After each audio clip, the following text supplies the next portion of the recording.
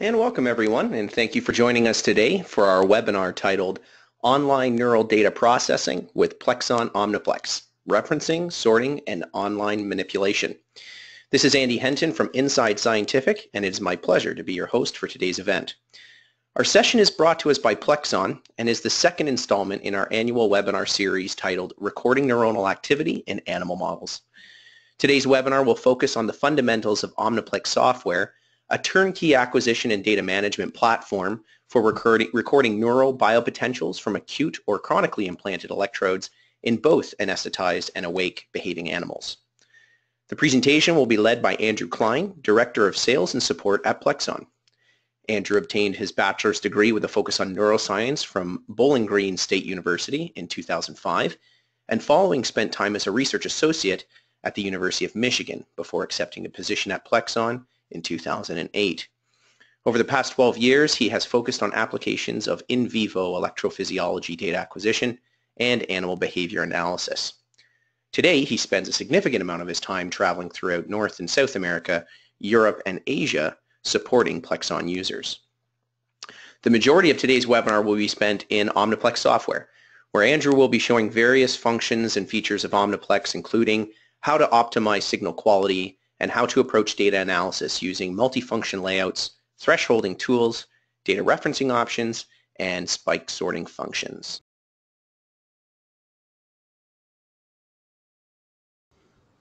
All right. Thank you, Andy, for uh, helping Plexon and me with this webinar. And a big thanks to everyone at Plexon for helping make this possible. As Andy said, my name is Andrew Klein. I am Director of Sales and Support at Plexon. Today I will be demonstrating some of the Omniplex software features. Omniplex is Plexon's flagship neural data acquisition system. So today we will talk about four different topics. The first topic will be layout, the, the different windows within Omniplex, how to configure them, how to highlight the ones that are most useful. These are things that we will talk about related to the layout. We will also talk about thresholding and waveform extraction, different means of extracting waveforms from continuous data. It's possible to do this manually and automatically. We will talk about this. We will also talk about referencing, some of the different hardware and digital referencing options available in Omniplex. And lastly, we'll talk about spike sorting, highlighting two different methods for spike sorting online. There's a few important details to talk about first there's two pieces of software associated with Omniplex, Omniplex Server and Plex Control. These two pieces of software work in a server-client relationship. Most of today's webinar will be spent doing things in Plex Control, although we will periodically be making changes to settings in Omniplex Server. The bulk of the user experience for, uh, for Omniplex is in Plex Control. This is why we will spend most of the time today in this software. Next, things like hardware configuration, data flow, getting started with data in the system, etc., will not be covered today in the webinar. These details are well documented in the Omniplex user guide, which is available on the Plexon website and made available at the end of this presentation. The data that we will be looking at today is eight channels from a previously from a previous recording session. It's not simulated data, but it is pre-recorded and played back into the Omniplex system. And lastly, the software we'll be using today is Omniplex Release 16. This is the 16th release of the Omniplex software. So let's get started. The first topic is layout. Within Omniplex, each data type has its own visualization window, which is displayed with, with the default layout. The user can customize a layout and highlight only the most useful windows. It's possible to save custom layouts to a file as well. This file is called a PXC file. So we'll jump right into, right into Plex Control. This is the default view for Plex Control. Each one of these black windows is a different window that we have displaying some type of data. As we click in these windows, the bar above it will turn orange. That's how we know that we have that window selected. For right now, we'll talk mostly about the continuous window. The continuous window is down here at the bottom. This shows all of our continuous data that we have available to us right now. There are four types of continuous data streams within Omniplex. There's wideband, continuous spike, field potentials, and auxiliary analog inputs. It's important to note that all modern Omniplex systems come equipped with 32 auxiliary analog input channels for continuously acquiring signals not acquired by the head stage. Some examples of this might be eye position data, EMG, blood pressure, etc. So each, within the continuous window down here, there's a, a number of tabs. Each one of these tabs corresponds to a different signal type. There's the SPKC, which is our spike continuous. There's the FP, which is our field potentials. There's the wideband, which is our wideband data. There's also the AI, which is our analog inputs or auxiliary analog channels. We will not be doing anything today with the auxiliary analog inputs, so I can hide this window from view. The best way to do that is to click on the window, pull it out from all the other tabs, and press the close button. Likewise with firing rates, I'm not going to be doing anything with firing rates today, so I'm going to click on this window, pull it out from all the other tabs, and close. Now I'm visualizing my wideband signal. I can visualize my spike continuous signal. The bulk of what we will be doing today with referencing and thresholding and sorting will be based upon the spike continuous signal. We'll be spending a lot of time looking at this data here. To orient, to orient ourselves a little bit, this is four channels of data, the first four, channels one, two, three, and four. Each one of these menus has a, a drop-down menu, I'm sorry, each one of these windows has a drop-down menu that can show us some additional settings, things like increasing the sweep speed, or looking at more channels, looking at fewer channels, changing the magnification, things like this. Since this window here, since any of our, our continuous windows are based upon time, the x-axis is time, I would like to make this window as large as possible. I can do that by grabbing the side of the window and pulling it over to make it larger like any typical Windows application. But the problem with this is that the other contextual windows then are also manipulated. So a different way of doing this would be to undock this window from all the others and move it to somewhere else, somewhere where I would prefer it to be. So the way to do this is to grab the window itself, pull it out from all the others, and dock it at the bottom of the screen. Now I've, I've docked all of our continuous windows. You can see all the tabs are down here. I've maximized the x-axis so I can see time in a greater scale. I can make this window larger. I can double click to zoom in. Now I'm looking at one channel of my data, channel one.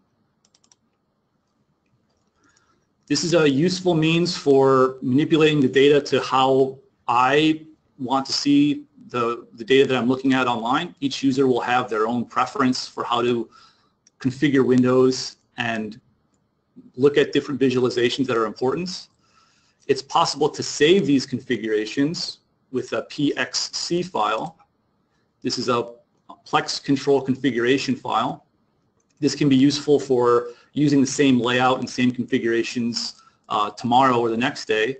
It can help if there's more than one person using the same system, or maybe there's different recording uh, experiments or different experiments that will rely on different types of of windows or different types of data that are most important. So to come back to PowerPoint and to recap what we just talked about, there's a different organization to the different windows in Omniplex. It is easy to customize the different views to highlight the data windows most important to the specific experiment, and it's useful to save the layout so it can be used in the next experiment. Okay, the next topic we'll talk about is thresholding and extraction. Waveforms can be extracted from the continuous spike data online during acquisition. Thresholding is one way to extract a waveform or spike. There are two different ways of thresholding with Omniplex. There's the standard extraction method, where a spike's timestamp is the time at which it crosses the threshold, or there's aligned extraction, where a spike's timestamp is the point of the maximum amplitude. This is all online along with the extraction point, it's important to talk about how much of the signal is captured. This is the waveform length and the pre-threshold length. I'm going to demonstrate standard and aligned extraction using manual thresholding now in Plex Control. We'll jump back into Plex Control. What the thresholding that we're going to do is be on our, our continuous spike signal here. I'm going to manipulate my windows a little bit more just so we can see things a little bit easier. I'm also going to double click to zoom into a channel so we're only looking at one channel. So channel 7 is a channel that has some pretty good spiking information on it. I'm not seeing anything in these in these in this way, window up here, which is our, our selected waveforms window. I'm not seeing anything in our array of waveform window. The reason for that is because nothing is crossing the threshold yet. In our waveform view, this blue line here is our threshold. If I, if I click on this and pull it up close to the zero point, we'll see that signal now is crossing the threshold. That blue line is also down here in the continuous view. It might be a little bit difficult to see, but the blue line is right here. I can adjust the line here. I can adjust the line here. Adjusting it in either place is exactly the same. I can drop my menu down in my waveforms view. I can increase my magnification and start to see what the waveforms look like that are crossing the threshold. Note that whenever the signal crosses the threshold, it's being extracted. If we increase our sweep speed and pause the display, we can see where the signal crosses the threshold and we can see a white line or a tick mark which corresponds to the timestamp of that threshold crossing. What's being shown in the waveform view is the last 500 waveforms to cross the threshold. They're all being aligned to the threshold crossing. That's this point here. This is the standard extraction method. It's also important to note how much of the signal is being extracted around this threshold crossing. That's set in the waveform length and the pre-threshold the pre-threshold length in our properties view over here.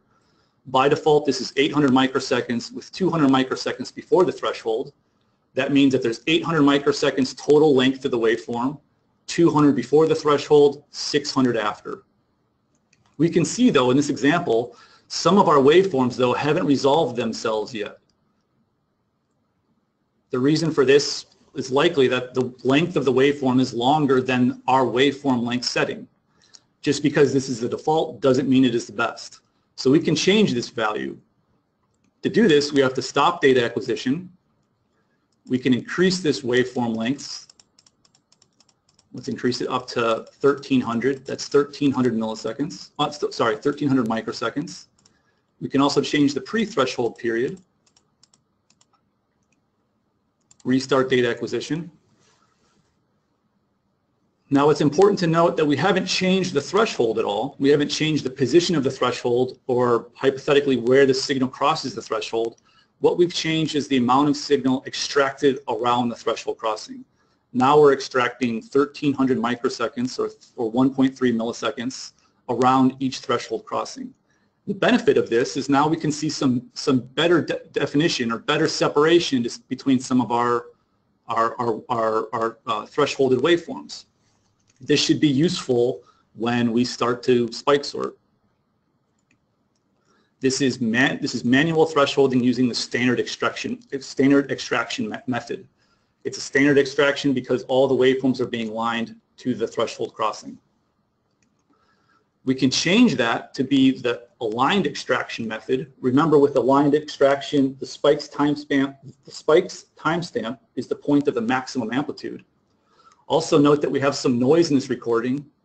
We'll, we'll try to address some of that with our referencing, which is coming up uh, in, in the next section.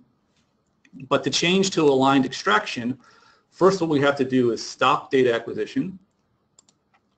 And the thresholding options are set in Omniplex Server, which is the other piece of software associated with Omniplex. That's the server.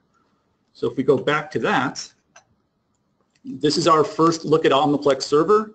It's an opportunity to introduce some of the features of this. Really, you can think of Omniplex Server and the topology file that is, is loaded inside of it as a visual representation of the signal and processing pathways of Omniplex. Within Omniplex, there are visualizations and configurable options for all different data streams. Details of Omniplex server are well outlined in the Omniplex user guide. So what we will be doing today is changing something in the thresholding mo module. We're going to right click, say edit device options, and change the timestamping mode from use the time of the threshold crossing to use the time of the largest peak. We hit OK here and we go back to Plex control and restart data acquisition, we haven't changed where the threshold is positioned. We haven't changed the waveform length or the pre-threshold period. What we've changed is how the waveforms are aligned. Now they're being aligned to the maximum amplitude. This helps us to further differentiate some waveforms of interest. The position of the threshold and waveform length, pre-threshold length all stay the same.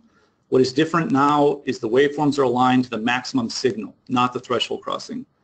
This can be useful for better separating spikes without changing the threshold. This can also be useful for spike sorting. Whether or not standard or aligned extraction is used will depend on how well isolated the data is, the noise level, how detailed the spike sorting must be, user preference, etc. So that was a demonstration of manually setting the threshold using the standard and aligned extraction methods. If we go back to PowerPoint, oops,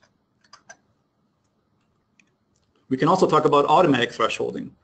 With Omniplex, it is also possible to set the threshold automatically, which will be more useful than the manual thresholding method, method just described. This is done by first taking a snapshot of continuous spike data. Think of a snapshot as a brief snippet of data that we can do some calculations on. By default, once a snapshot is available, the software will calculate a mean and standard deviation of the signal in the snapshot. Then the user can choose to set the threshold to a certain number of standard deviations away from that mean. So if we go back to Plex control, let's go to channel 6 here now. We haven't set the threshold on channel 6. That's why we see no waveforms in our waveform arrays view and no waveforms in the specific waveform channel. Down here, we're visualizing the continuous spike signal for channel 6. There's an option in here called snapshot options. We click in here. This tells us the size of the snapshot buffer, which is 10 seconds by default. This is the size of the snapshot that will be collected. Since it's a continuous variable, it's, it's a matter of time. It, it, it's, it's, it's, we're, we're recording, we're, we're, we're capturing 10 seconds worth of data.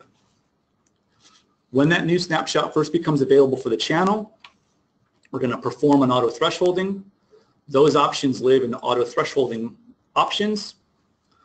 The auto thresholding is based upon mean and standard deviation. Once that snapshot is available, the system will calculate a mean, it'll calculate a standard deviation, and it'll set the threshold by default to four standard deviations, four sigma away from the mean. So let's do that right now. So there's a button here that says start forward snapshot collection for channel 6. This will only do the snapshot on channel 6. Once we press the button, it starts collecting 10 seconds worth of data. Down in the bottom right-hand corner, it tells us it's collecting this snapshot. Once it has 10 seconds, it will calculate the mean and standard deviation and set the threshold so it's however many standard deviations away from the mean we had chose. By default, it's 4. Here we can see the results of that threshold, that, that threshold, automatic threshold that we set. We can make an adjustment to this if we didn't like the value. We can come back into our snapshot options, back into our auto thresholding tab, and change this value from 3 to 4 or from 4 to 5, whatever we decide. Making that change, we can say OK. And now, since we already have a snapshot, we can just say perform an auto threshold on the current snapshot, and it'll adjust that threshold to 3 sigma instead of 4 sigma. So there's two benefits of automatic thresholding. It enables us to set the threshold on a channel in a, in, in, a, in a programmatic way. It also allows us to set the threshold on all the channels using the same method. So we can do that. Instead of setting the threshold on channel 6 and then channel 5, 4, 3, etc., we can double click and zoom out in this view, visualize more than one channel, and now this start forward snapshot collection button says for all the channels and not just channel 6. So now when I press this button, it starts collecting a snapshot on all eight of my channels. It calculates a mean and standard deviation on each channel snapshot, and it'll set the threshold for each channel based upon that equation. So two benefits of automatic thresholding. There's this, you can, it enables the user to set the threshold on lots of channels at the same time using the same method. It's important to note we're using the same method, not the same, not setting the threshold to the same value.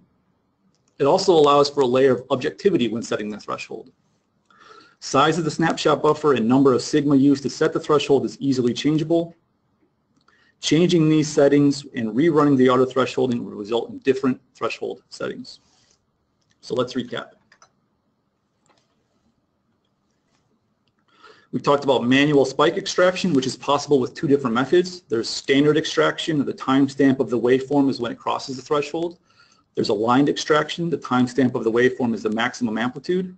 We talked about automatic threshold, automatic thresholding, which is possible by taking a snapshot or snippet of the continuous data.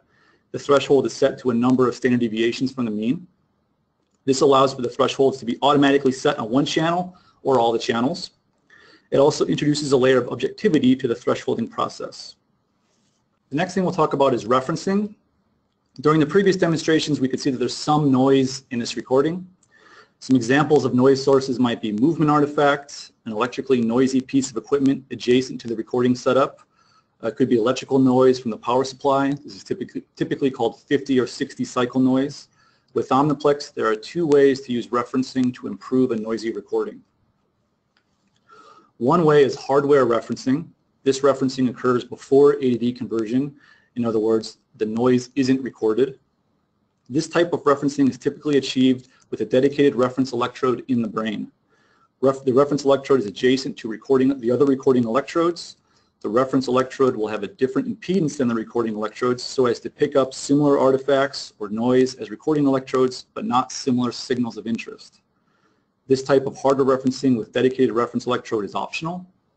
Without setting the system to use a dedicated reference electrode, the system will use the ground electrode in the array by default.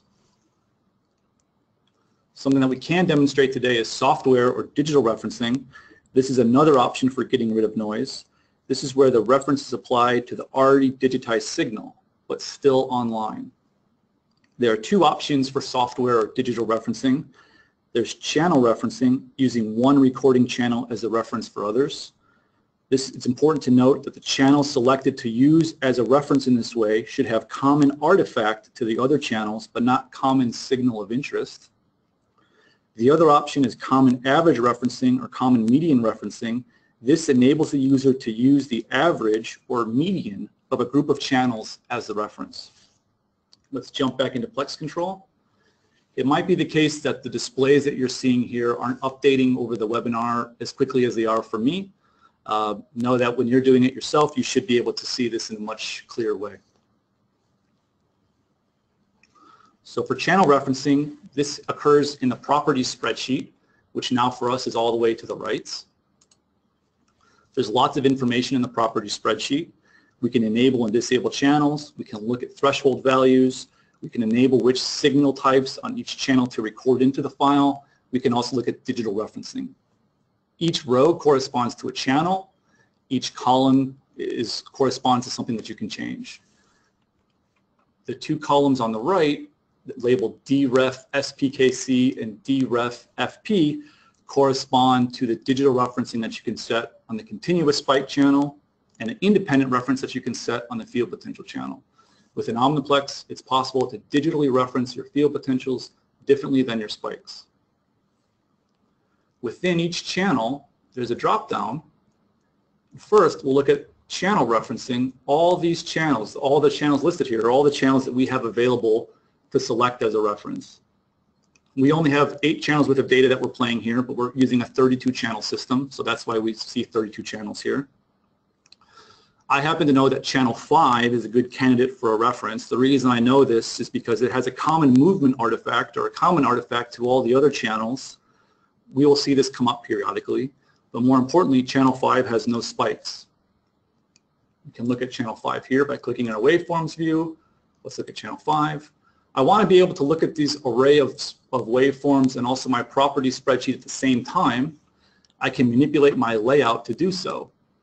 The best way to do this is to grab my property spreadsheet here, pull it away from all the other tabs, and dock it right next to my waveforms. Now I have my individual waveform, I have my array of waveforms, and I have my property spreadsheet. This is another example of manipulating the layout within Omniplex to change the visualization specific to the user's preference.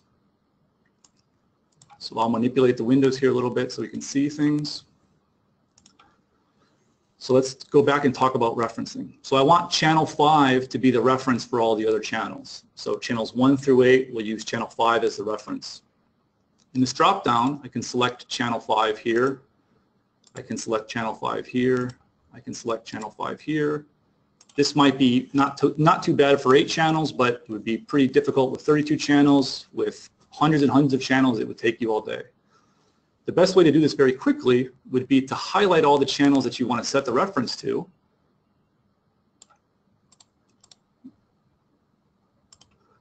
Would be to, sorry, to hi highlight all the channels you want to set the reference to. And so long as the top channel is set to how you would like it, you can right click, say set all selected channels like topmost selected channel. And what that will do is set all the channels that you had highlighted to whatever the top one was.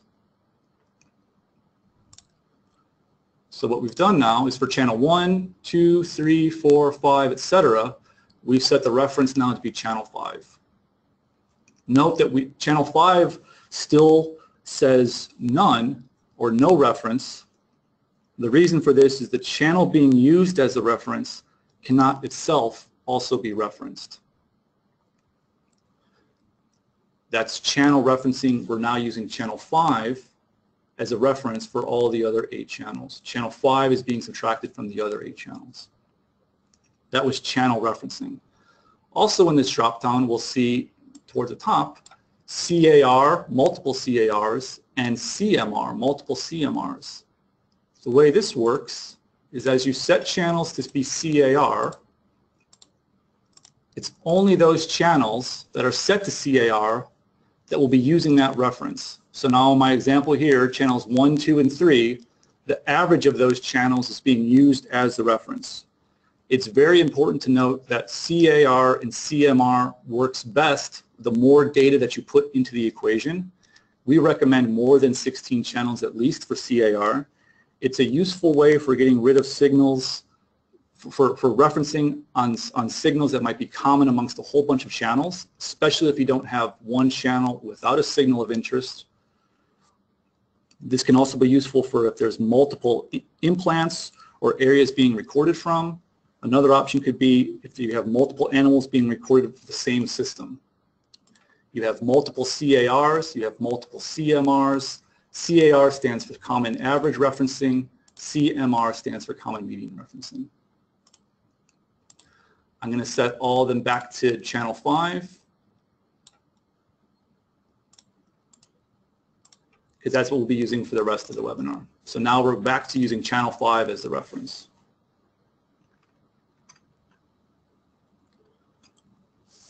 So to recap, we've talked about hardware referencing. This will affect how the data is acquired. It happens before A to D conversion. The user has the option for setting a dedicated reference electrode. Without setting a dedicated hardware reference, the ground of the implant is used by default. We also talked about software digital referencing. This is a means to improve the quality of already acquired data online. One option is to use channel referencing. This is most useful when one channel has an artifact or noise common to other channels, but no common signal of interest. Another option is to use the average or median as a reference. This is most useful when all channels have a common noise and common signal of interest. CAR and CMR works best with lots of channels.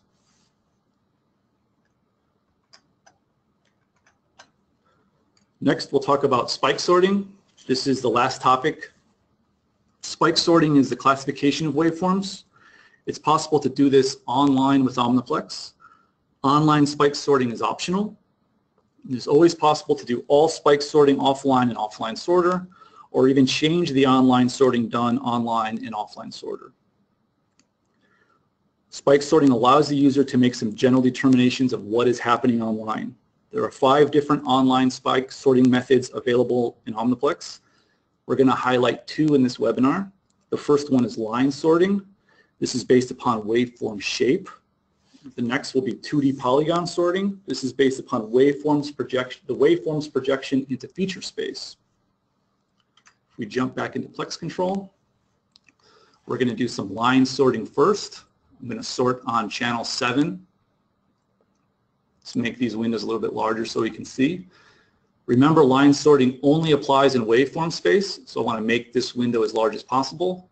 Likewise, I want to double click to zoom into my spike continuous signal, so I'm only looking at channel 7. This is just a personal preference. Remember, with Omniplex, we have the ability to change the layout to many different options based upon personal preference. So with line sorting, the way I'm going to do it is I'm going to take a snapshot. A snapshot is 500 waveforms when we're talking about a thresholded signal. That's this button here. I'm going to take a snapshot. Now what's being shown to me is the last 500 waveforms to cross the threshold. 500 is an arbitrary number. That's the default. This, is, this can be changed based upon user preference. So when I'm visualizing the snapshot, I have the ability to add a unit. When I click the Add a Unit button, I'm able to draw a line through a group of waveforms. Now it's only the line, it's only the waveforms that are plotted through that line that are sorted as part of that unit. What's useful about line sorting now is I can add additional lines. I can add a line here. I can add a line, let's say here. I can even change what I'm being showed to only show me the selected unit. And now I'm only showing the waveforms within the snapshot that are crossing that line. This helps me to really narrow in the sorting and get very, very specific. I can always manipulate this or change it offline, but online I have the ability to get very, very specific with how I'm going to spike sort this. So now I can turn the snapshot off. I can go back to show me everything. Now as new waveforms cross the threshold, if they're plotted through all five of those lines associated with unit A, they will be sorted as part of that unit. This is line sorting. I can go back to my snapshot, add another line, or add another unit,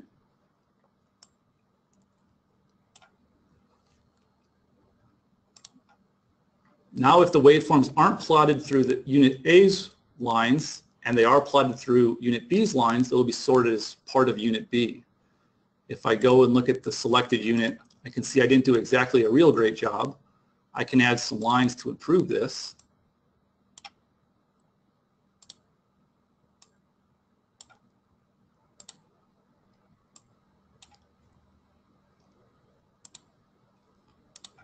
It's possible to it's possible to sort on incoming data or on snapshot of data. What I've done here is I've categorized waveforms online based upon lines that I've drawn on the screen.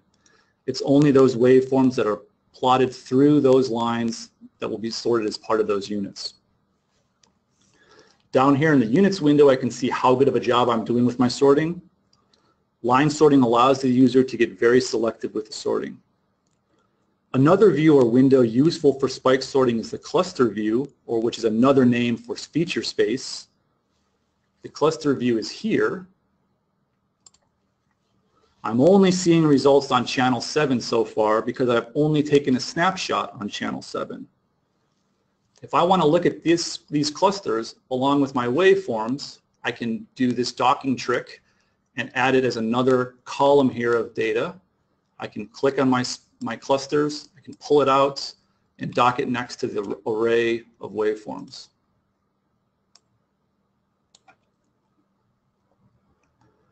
Again, I'm customizing the layout based upon my personal preference.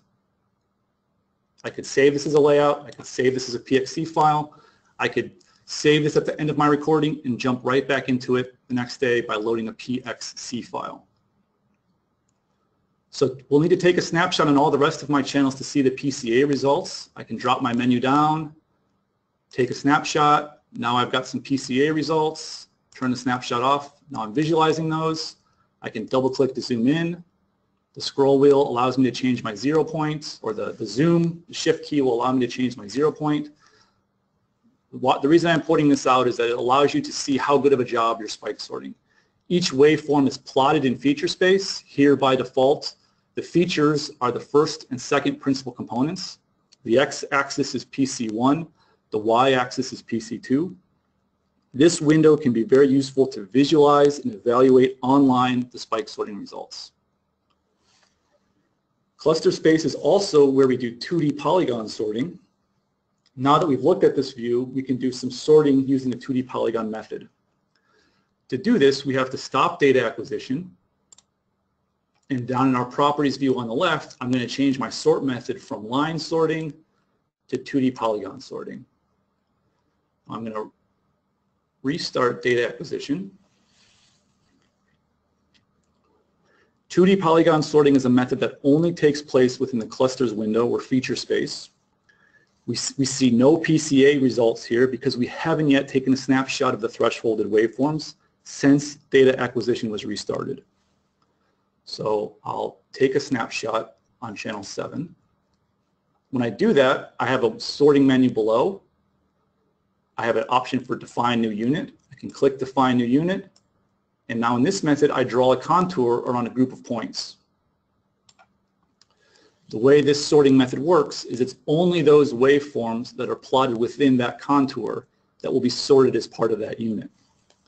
When I turn the snapshot off, that projection stays within feature space, and as waveforms are plotted within the contour I drew, they'll be sorted as part of that unit or left unsorted. I can change the position of that contour. I can go back to my snapshot to find another unit. I can add a third unit. I can redraw units. I can delete units. It's only the waveforms that are plotted into those contours that will be assorted or assigned to those units. Unit A has priority over Unit B, has priority over Unit C, etc. With 2D polygon sorting, it is also possible to do auto sorting. By default, the Omniplex system uses the valley seeking method for auto sorting. The valley seeking method includes a unit finding, unit finding sensitivity control called the Parzen multiplier. Generally, with the valley seeking method and the Parzen multiplier, you reduce the number to find more clusters. That value by default is at 0.7. So let's go to another channel. We'll look at channel 6 here. We see no PCA yet because we haven't yet taken a snapshot on channel 7. Let's go ahead and take a snapshot for all of our channels. Go back to channel 6 here. Zoom in a little bit. Maybe we can change our zero point. So now, if we take a snapshot, we have the define a new unit button. We also have the option for automatically find the units. By default, this value is at 0.7. We can adjust this number to 1.0 and see what kind of results we get and say automatically find units. And it automatically finds the units based upon that valley seeking method and the Parzen multiplier. As we adjust this number, we'll get different results. The, the results that we get will be dependent upon how well isolated the data is, how many units there are, how noisy it is, etc. This is pretty well isolated data, so we got the same result with the same with, with two different values. Let's go to a channel like channel 8 which is not so well isolated. Here we can take a snapshot, see what the value looks like at 1.0. It did a pretty good job of finding both of those units. It'll typically find the noise cluster as a unit. If there is noise, if you have included some noise in the piece in, in the thresholding,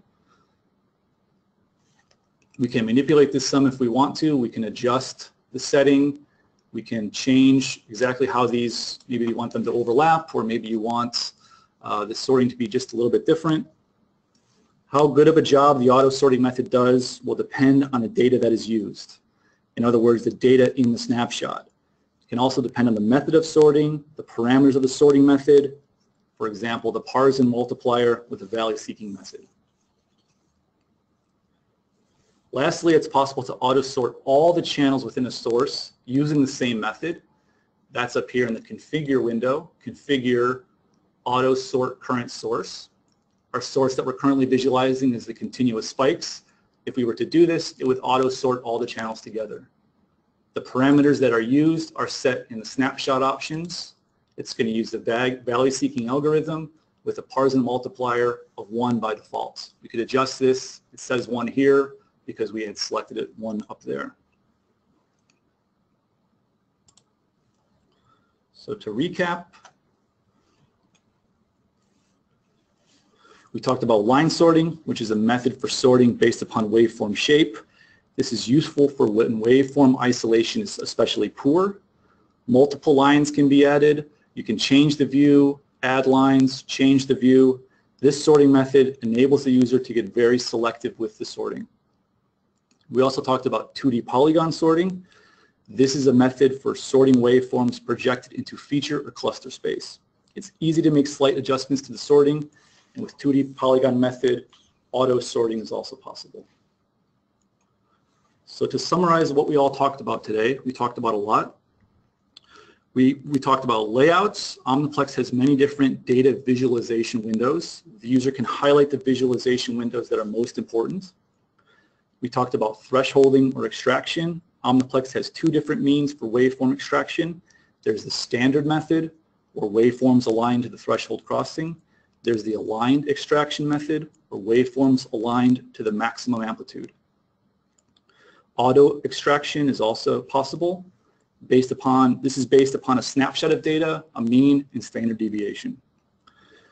We talked about referencing and the differences between hardware referencing and software or digital referencing. There are two different methods for online digital referencing. There's channel referencing. There's common average referencing or common median referencing.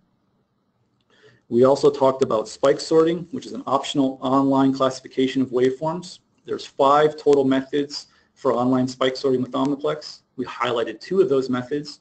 We highlighted line sorting, or classification by drawing lines and sorting the waveforms plotted through those lines. We talked about 2D polygon, which is classification by drawing a contour in feature space, and only the waveforms that are plotted into that contour will be sorted as part of that unit. Using 2D polygon sorted, we demonstrated the valley seeking method for automatically sorting. Lastly, at the, at the bottom of the window here is a link to the Omniplex user guide, which has a lot of this information and specifically and specific information about getting started with Omniplex. This user guide is also available in the Go to, meet, Go to handout section. That's all I have planned to talk about today. I'm available and willing to talk about any other details and try to answer any questions. Thank you for your time and attention. Thank you, Andrew. That was great. Um, uh, a wonderful presentation. Uh, and yeah, we've got um, just over 10 minutes now for uh, Q&A. So let's get right into that. First question for you is, uh, when using 2D polygon sorting, how does the system determine which unit to assign a waveform to if the waveform is plotted in two or more overlapping contours? Uh, thanks, Annie. Yeah, that's a good question. I think the best way to demonstrate that would be just to go right back into the software here. If I come back into uh, Plex Control, there's an example right here of two overlapping 2D polygons. So the way Omniplex works is that each waveform can only have one classification. It can either be sorted or unsorted. A waveform cannot be sorted into two different units. It can either be sorted or unsorted. If it's sorted, it can only be categorized to one unit. So when they overlap, what happens? That is a setting in Omniplex to, to, to, to decide what's going to happen in this case. I'm going to stop data acquisition here. I'm going to go back to Omniplex server into the sorting option.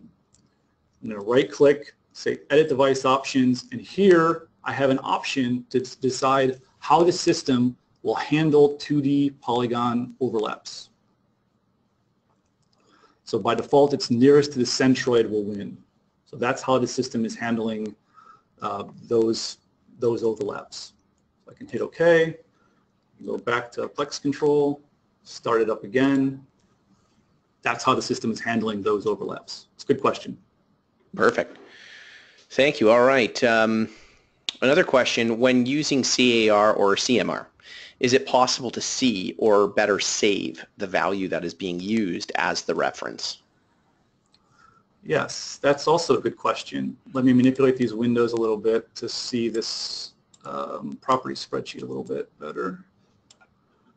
Okay, so down in our referencing option, when we look at this, this, this drop-down menu, there's the option for multiple CARs and CMRs. That means we can have four different groups of channels, each using their own average, or four different groups of channels using their own median. There's also the option for CAR MON, or CAR2M stands for MON, 3 MON, 4 MON, etc. The MON here stands for the monitor.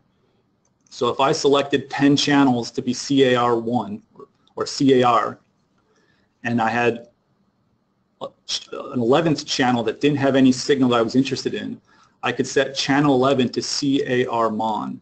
And what that will be now is instead of it showing me what the data from electrode 11, it would be showing me what exactly that average is. So it's a way of monitoring what's being used as the reference. This is very useful as it can be tricky with CAR or CMR because it's not exactly easy to figure out what exactly is being used as the reference. Yes, we know it's the average or we know it's the median, but what exactly does that look at look like?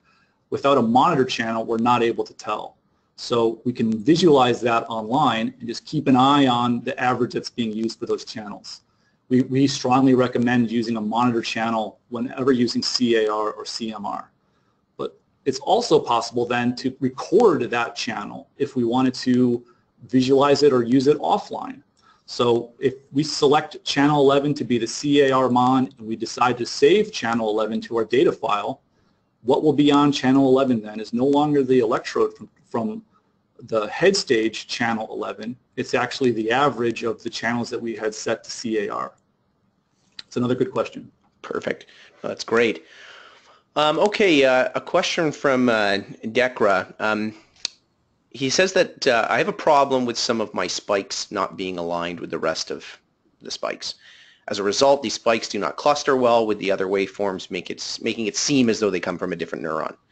So um, it says, I have tried aligning the waveforms based on peak after acquisition, and I've also tried different threshold levels during acquisition. But the latter often leads to a large data set that I feel can be more accurately sorted. So how should I approach sorting this type of data set? It's a good question. I think there's a number of different things that could try. One is trying this aligned extraction online. You know, mm-hmm. he said that it, he's trying the uh, alignment offline. Trying it online and seeing what kind of results it has online could be useful. Mm-hmm. And looking at aligned extraction and then potentially adjusting the threshold based upon the results that you get would be another way of trying to better differentiate more than one neuron on the same channel. Something else to, to try would be to try some of the digital referencing options available in Omniplex. Uh, this can help to clean up some of the data uh, and, and make the waveforms that are of, of most interest more obvious to the user online. Mm-hmm. Those are two things that I would recommend to try online. Offline and offline sorter, you have you have different options. You have options for like dual thresholding, you have options for automating a whole bunch of different thresholding uh, calculations to see which one might be best or give the best results. What's nice about that is if you decide in offline sorter what thresholding options work well for your type of data, you can go back online and try those same settings online. So just because you have the option to set those settings online, uh, sometimes it can be difficult to figure out what the best settings are as data is being acquired trying to figure that out offline as after the data is acquired uh, might be a little bit easier or more useful. Okay, that's great feedback. Another question, uh, how is the continuous field potential view different from the continuous wideband view? Great question. So the wideband signal, or what we're visualizing here, Let's go to like, for example, channel 7 here. I'm going to expand this, make it a little faster. The wideband signal is effectively everything that is being acquired at the head stage or by the system. This is the widest bandpass available to the system. So this includes all the low frequency signal and all the high frequency signal. It's the wideband signal then that is filtered one way and turned into the continuous spike signal. So we filter it and get rid of everything below a certain frequency to turn it into our continuous spikes. This is what we then use to derive our waveforms. But we take that wideband signal and filter it the opposite way and only look at the very low frequency signal. So now we're getting rid of everything that's above a certain frequency. So the data that's in the field potential, the data that's on the field potential channel is, is also present in the wideband signal. The difference is the wideband signal also contains all the high frequency information things like spikes. Perfect. Um, okay, a question from Anna. Can the thresholding mode also be set or adjusted in offline sorter? Uh, yes, absolutely. So one important thing to know though is if you want to re-threshold data offline, you have to be sure to save this continuous spike data. There's an option up here in our property spreadsheet to, to record the spike continuous data. What this means is that you can select on a per channel basis whether or not you're going to record this continuous spikes. The reason that has to be recorded is if not, then all that's being recorded is just what's crossing the threshold. And if you adjust the threshold offline, you want to know what's maybe slightly before or slightly after your incorrect threshold setting. So you're able to get more or less or different parts of the waveform. So yes, it's absolutely possible to do spike uh, to do thresholding offline. You can do the standard method. There's some different alignment methods. You can do it automatically. All those options are available in offline sorter.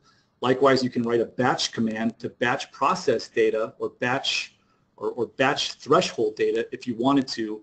Uh, so if, if you wanted to automate things even further. Uh, there's not this, the, the, the, scope of this webinar is not really to talk about batch processing and offline sorter, but I think that's probably a good idea for a future webinar. Great. Um, very good answer.